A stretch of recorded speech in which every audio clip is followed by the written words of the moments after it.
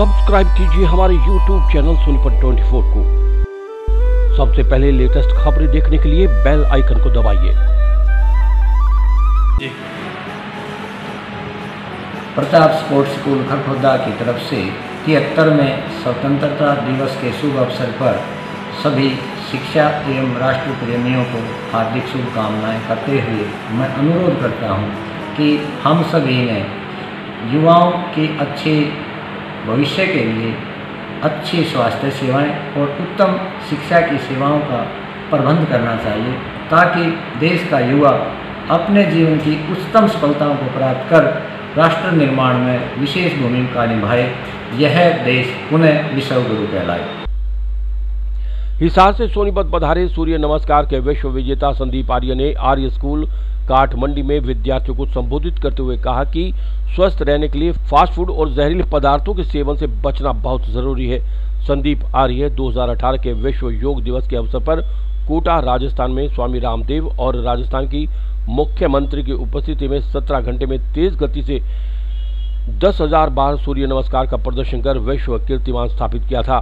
इस रिकॉर्ड के बनने के बाद प्रधानमंत्री नरेंद्र मोदी ने भी प्रधानमंत्री कार्यालय से फ़ोन कर उन्हें शुभकामनाएँ दी थी। संदीप ने कहा कि सभी को योग अवश्य करना चाहिए। योग करने से शरीर निरोग रहता है।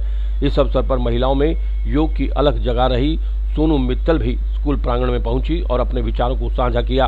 उन्होंने कहा कि योग करने से जीवन सुखमय रहता है और बीमारियों से छुटकारा मिलता है। बच्चों को संबोधित करते हुए कहा कि शिक्षित समाज ही देश को सही दिशा दे सकता है। विद्यार्थी कल के नहीं, आज के नागरिक हैं और देश की उन्नति में इनका अहम योगदान न केवल है, बल्कि आगे भी होगा। इस अवसर पर स्कूल स्टाफ ने आए हुए मुख्य अतिथियों को स्मृति चिन्ह देकर सम्मानित किया। सोनीपत से शाम वशिष्ठ की रिपोर्ट। सूर्य नमस्कार, एक पूरे शरीर का व्यायाम होता है। सूर्य नमस्कार से पूरे शरीर में एनर्जी रहती है। सूर्य नमस्कार करने से पूरे चेहरे पर चमक रहती है। घुटने, कमर, हृदय, सारे सही प्रकार के जो शरीर के अंगों का पूरा योग हो जाता है। सूर्य नमस्कार जितने भी योग करते हैं, प्राणायाम करते हैं और करते हैं, वो और कुछ करने की ज़रूरत नहीं अगर सूर्य नमस्कार करें तो एक सूर्य नमस्कार से पूरा योग हो जाता है शरीर का। सूर्य नमस्कार कम से कम दस बार से लेकर पच्चीस बार और इसको युवा को ज़्यादा करना है तो सौ बार करना चाहिए। मैं ये संदेश देना चाहता हूँ, जितने भी नौजवान हैं, वो सभी योग से जुड़े और फास्ट फ़ूड से बचें। वो जीवन में निरोग रहेंगे, स्वस्थ रहेंगे। योग बहुत ज़रूरी है। इस प्रकार से आज समाज में बीमारी बढ़ती जा रही है। तो योग ने पूरी दुनिया को स्वीकार किया है। योग आज घर घर पहुँच गया लेकिन उसको ज़रूरत है कि उसको प्रतिदिन करने की मैं पढ़ने के लिए मतलब छटपटाती रही कि मुझे पढ़ने दिया जाए, पढ़ने दिया जाए। इस तड़पना को मैंने बच्चों को पढ़ा के, शादी के पंद्रह साल बाद बच्चों को शिक्षित करके इस तड़पना को पूरा किया। कि मैं पढ़ नहीं सकी, पर बच्चों को पढ़ा के मैं इस शिक्षा को पूरा करूँगी। और भगवान ने मेरा साथ दिया। एज ए टीचर जैसे आपको आगे बढ़ने के लिए सिर्फ़ बच्चों याद रखना, सिर्फ़ तीन लोग ही खुश होंगे। एक आपके माँ बाप और एक आपके गुरु। और इसके अलावा कोई नहीं खुश होता। अगर आप ज़िंदगी में पद भ्रष्ट होते हो तो उन्हीं के पास जाओ। हमेशा याद रखना, जो हाथों से काम करता है, वो होता है मजदूर। कौन होता है? जो हाथ और दिमाग दोनों से काम करता है, वो होता है कारीगर। कौन होता है?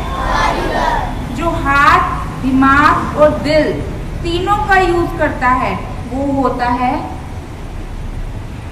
जादूगर। कौन होता है? जादूगर। कलाकार। जादूगर, कलाकार। आर्टिस्ट, क्या कहते हैं उसको? आर्टिस्ट। अगर अब तुम क्या बनना चाहते हो? मजदूर बनना चाहते हो? कारीगर बनना चाहते हो? आर्टिस्ट बनना चाहते हो? आर्टिस्ट बनना चाहते हो ना?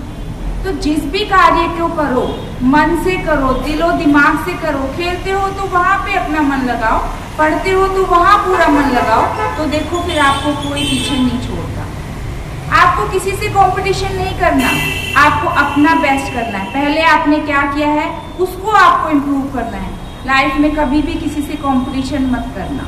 अपना देखना कि मैंने पहले कैसा किया है और आगे किस, कितना करना है। वही आपकी तरक्की है। किसी से कभी भी कंपेयर मत करना। सूरज का चाँद से कोई कंपैरिजन नहीं है। सूरज दिन में चमकता है, चाँद रात को चमकता है। जानते हो? तो सबकी अलग अलग क्वेश्चन पेपर होता है, सबको अपना अपना सोल्व करना पड़ता है। मतलब सबकी क्षमता अलग अलग होती है। तो सबको अपनी क्षमता के अकॉर्डिंग अपना काम करना है, खुद को बेहतर बनाना है। किसी से कोई कंपैरिजन नहीं करना। तुम देश के आने वाले भविष्य हो। अपना देश अपना हाथ में है। अपना देश अपना अच्छा बनाना है। अपने गुरुजनों का आदर करोगे तो तुम्हें कोई पीछे नहीं हटा